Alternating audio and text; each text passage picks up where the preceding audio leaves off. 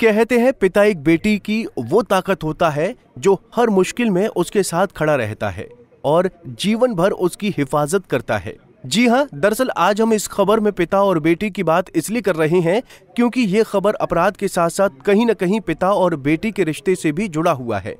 दरअसल मामला जनपद संभल के थाना असमोली का है, जहाँ कुछ दिन पहले एक व्यक्ति की हत्या हुई थी, जिसके बाद से शव को कब्जे में लेकर पुलिस मामले की जाँच में जुट गई।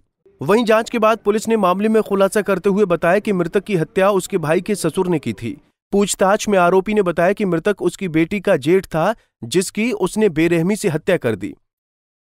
जनपद संबल के थाना असमोली क्षेत्र में चौदह से पंद्रह सितंबर की रात को एक व्यक्ति, तरुण शर्मा जिसकी मृत्यु संदिग्ध परिस्थितियों के अंदर पास के ही गन्ने के खेत में हो गई थी।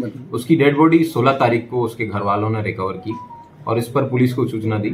पुलिस ने मौके पे उस शव को कब्जे में लिया और उसमें पोस्टमार्टम कराया गया और डॉक्टर द्वारा विसरा प्रिजर्व होने की बात बताई गई। फिर उसमें पुलिस ने एक चमन शर्मा नाम के व्यक्ति द्वारा जो कि इनका रिश्तेदार है उसके द्वारा तहरीर दी गई थी। वहीं हत्या का कारण पूछने पर आरोपी ने बताया कि मृतक उसकी बेटी का जेठ था, जो रोज उसकी बेटी के साथ छेड़छाड़ करता था, जिसको लेकर बेटी ने उससे शिकायत की, जिसके बाद पिता ने हत्या की साजिश रची और बेटी के जेठ को घर बुलाया। पहले उसके साथ बैठकर शराब पी, फिर बाद में ईंट से कुचलकर उसकी हत्या कर दी। कई लोगों से छानबीन और पूछताछ के बाद में पता चला कि इसकी हत्या की गई है। और हत्या किन कारणों से की जा सकती है, उसके पीछे दो अलग अलग प्रकार के एंगल्स हैं वो एक्सप्लोर करने पे पुलिस को पता चला, जिसके गुप्तांगों पर भी चोट है हो सकता है अवैध संबंध के कारण हुई हो, या फिर सिर में भी काफ़ी चोट है तो ग्रुसम तरीके से किसी ने बदला लेने की भावना से ये घटना कारित की। बाद में इसके करीबियों से पूछताछ करने पर पता चला कि मृतक तरुण की पत्नी की डेथ आज से दस साल पहले हो गई थी। इसका अपने छोटे भाई की पत्नी के साथ में उसको परेशान करता था और उसके साथ अवैध संबंध बनाने का प्रयास करता था।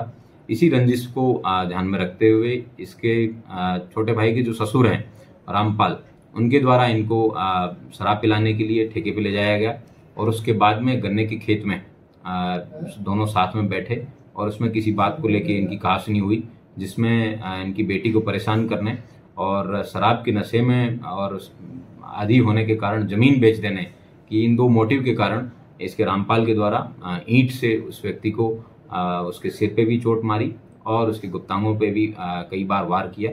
इससे मृतक तरुण की वहीं पर डेथ हो गई। ऐसे में जहाँ एक और पुलिस ने आरोपी को गिरफ़्तार कर जेल भेज दिया है तो वहीं दूसरी ओर आरोपी की निशानदेही पर हत्या में इस्तेमाल की गई ईंट और अन्य साक्ष्य भी इकट्ठा कर बरामद कर लिया गया है। पंजाब केसरी टीवी के लिए संभल से मुजम्मिल दानिश की रिपोर्ट। हमसे जुड़े रहने के लिए हमारे YouTube चैनल को सब्सक्राइब करें और नई वीडियो की नोटिफिकेशन के लिए बेल आइकॉन को दबाएँ। अगर आप ये वीडियो Facebook पर देख रहे हैं तो लाइक ज़रूर करें और ज़्यादा से ज़्यादा शेयर करें धन्यवाद